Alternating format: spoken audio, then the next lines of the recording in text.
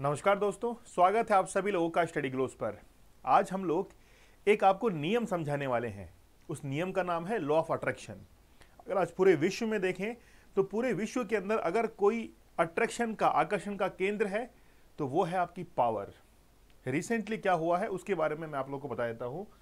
UNSC की जो security council है यूएनएससी मतलब यूनाइटेड नेशन सिक्योरिटी काउंसिल उसके अंदर रशिया को एक महीने के लिए प्रेसिडेंसी मिली है। और यूक्रेन ने इसका भारी विरोध किया है। जेलेंस्की को कपिल शर्मा कहा जाता है, लेकिन जेलेंस्की इस स्थिति को संभाल नहीं पा रहे हैं कि आखिरकार मैं करूँ क्या?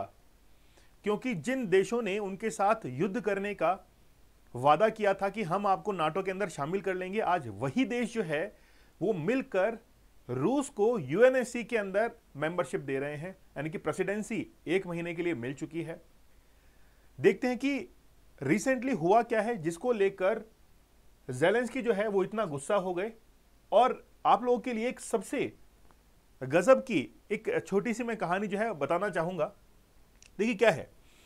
अगर हम लोग पूरे विश्व में देखें, या हम लोग अपनी सोसाइटी में देखें, या आपके फ्रेंड सर्कल में देख लीजिए, या आपके परिवार में देख लीजिए, सबसे ज़्यादा जो अट्रैक्ट करती है लोगों को वो होती है पावर आप लोगों ने यूट्यूब पे कई सारे शॉर्ट्स देखे होंगे कि नेताजी आ रहे हैं, कि विधायक साहब आ गए हैं। आप उनसे मिलने के लिए बड़ा आतुर रहते हैं। बेसिकली ये पूरा का पूरा खेल जो है, वो किसका है? पावर का है। और लॉ ऑफ़ अट्रैक्शन कहता क्या है? कि जिस व्यक्ति के पास में पावर है, उसकी तरफ़ सभी लोग जो है, वो खिंचे चले जाते हैं। यही है रशिया के साथ में। आज रशिया का विरोध करने वाले कंट्रीज़ बहुत कम है, जो कि खुले तौर पर ओपनली जो है, वो रशिया को अपोज करते हैं। अगर अपोज इतना ही करते तो आज यूएनएससी की जो प्रेसिडेंसी है, एक महीने के लिए वो रशिया को नहीं मिल पाती। क्योंकि अभी रशिया के ऊपर कितने सारे वॉर क्राइम के आरोप लगे थे। और खास बात यह है कि जब रशिया को लास्ट ईयर यानी कि 2022 में जब ये वॉर हुआ था, उस समय भी रशिया के पास में यूएनएससी की प्रेसिडेंसी थी। तो यूएनएससी का जो काम है, उसके ऊपर ही सवाल या निशान खड़ा हो गया है। जेलेंस्की ने यहाँ तक कह दिया है कि भाई यूएनएससी जो है इसको भंग कर दो। इसको डाइल्यूट कर दो, खत्म कर दो, कोई काम नहीं है इसका। क्योंकि जब रशिया को ही इसकी प्रेसिडेंसी मिल चुकी है। तो चलिए, जानते हैं इस लेक्चर के अंदर क्या है।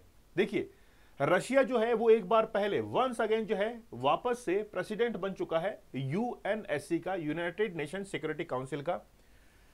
Ukraine has been continuously opposing Russia presidency for last few days April month के अंदर यह प्रेसिडेंसी दी गई है।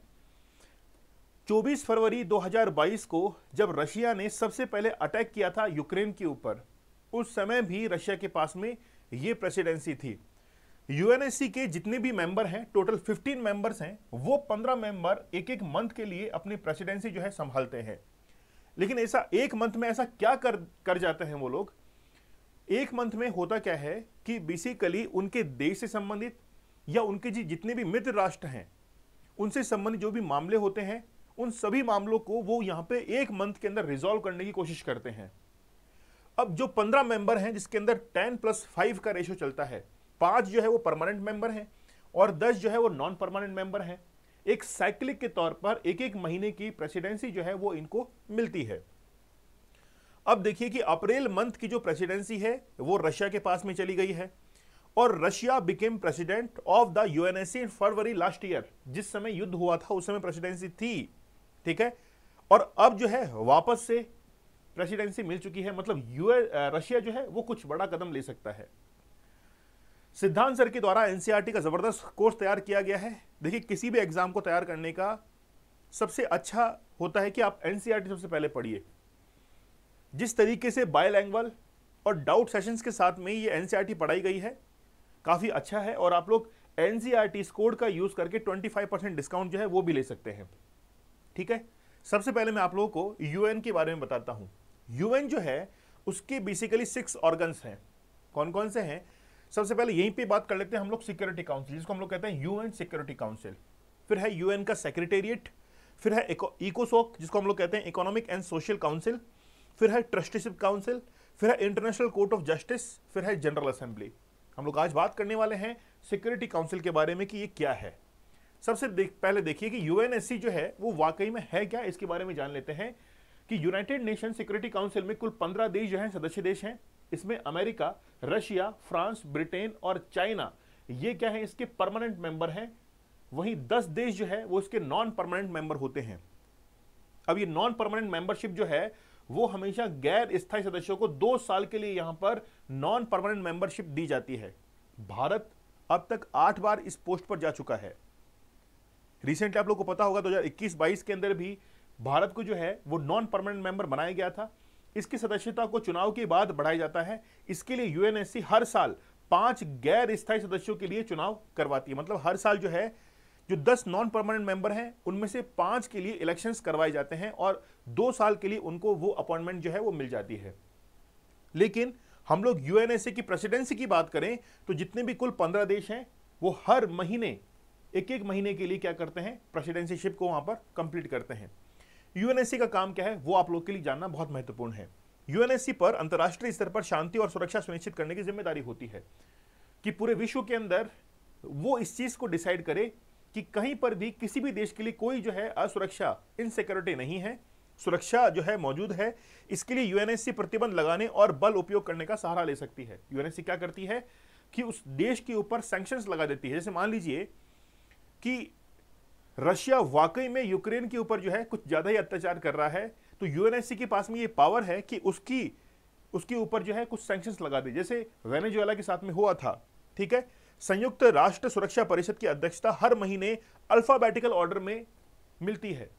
अल्फाबेटिकल मतलब ए बी सी डी ये होता है अल्फाबेटिकल ऑर्डर। इस तरीके से जो है उसको डिसाइड किया जाता है। अब भारत जो है वो आठ बार यूएन सिक्योरिटी काउंसिल के अंदर जो है नॉन परमानेंट मेंबर बन चुका है। अगर हम लोग बात करें 1950, 1951, 1967, 1972, 77, 84, 91, 2011 और 2021 और 22 के लिए। तो दिसंबर 2022 तक जो है वो हम लोग रहे हैं यहाँ पर। और इन दो सालों के अंदर हमने पाकिस्तान के खिलाफ कई बार जो है वो टेररिज्म को लेकर मुद्दा उठाया था। वैसे ही मुद्दे जो हैं वो यहाँ पर उठाए जाते हैं, ठीक है? तो ये आप लोगों को जो है ध्यान रखना है। अब भारत यूएनएससी का स्थायी मेंबर जो है क्यों नहीं बन पाता है?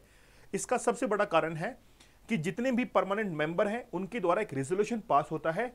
अगर उन पाँच परमानेंट मेंबर में से किसी ने भी अगर अपनी वीटो पावर का यूज़ कर लिया और इनकार कर दिया तो फिर कोई भी देश जो है वो परमानेंट मेंबर नहीं बन पाएगा। यही थ्योरी जो है वो काम करती है। और इसमें सबसे बड़ा जो है वो चाइना हमारे लिए रोड़ा बना हुआ है। चाइना ये चाहता ही नहीं है कि भारत जो है वो परमानेंट मेंबरशिप के अंदर जाए, क्योंकि चाइना हमेशा अपना वीटो पावर का यूज़ कर लेता है। और पाँच में से एक देश ने भी अगर वीटो पावर का यूज़ कर लिया है तो फिर सदस्यता नहीं मिल पाती है। चीन के अलावा फ्रांस, अमेरिका, रूस, ब्रिटेन, भारत को जो है वो परमानेंट मेंबर बनाने के लिए सहमति जता चुके हैं, लेकिन चाइना जो है इसका विरोध करता है। अब बेसिकली क्या है कि यूएनएससी का जो स्ट्रक्चर है, उसमें बदलाव की, उसको चेंज करने की बार बार मांगे जो है उठती रहती हैं। कहा जाता है कि इसमें परमानेंट मेंबर जो है, इनको भी चेंज करना चाहिए, कुछ एक सदस्य इसमें और ऐड करने चाहिए। जो नॉन परमानेंट मेंबर हैं, उसमें भी थोड़ा एड ऑन और होना चाहिए कि जैसे अफ्रीका जैसे देश हैं उनका प्रतिनिधित्व तो बहुत कम है रिप्रेजेंटेशन बहुत कम है, ठीक है?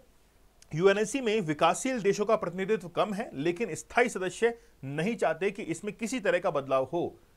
जितने भी डेवलपिंग नेशंस हैं, उनका वहाँ पर रिप्रेजेंटेशन बहुत कम है।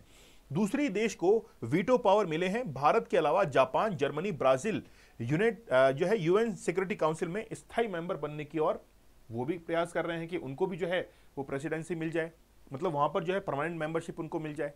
तो रिसेंटली यूएनएससी का जो प्रेसिडेंसी है वो किसके पास में चली गई है? रशिया के पास में चली गई है। और अब वेट एंड वॉच की कंडीशन हो जाएगी वाकई में रशिया जो है वो क्या करता है। ठीक है? आप लोग मुझे कमेंट सेक्शन में ये बताइएगा कि विजय लक्ष्मी पंडित, आप लोग जानते होंगे विजय लक्ष्मी पंडित के बारे में वो यूएन के अंदर कौन से सेशन को जो है संबोधित कर चुकी हैं। ठीक है? मुझे आप लोग कमेंट सेक्शन में ज़रूर बताइएगा। आप लोग मुझे टेलीग्राम पर ज्वाइन कर सकते हैं। Deepak Indora official study glows आप लोगों के लिए बहुत ही बेहतरीन लेक्चर्स लेके आता है तो आप लोगों को ज़रूर सब्सक्राइब करना चाहिए। तो चलिए मिलते हैं हम लोग नेक्स्ट सेशन में, तब तक धन्यवाद, थैंक यू, जय हिंद।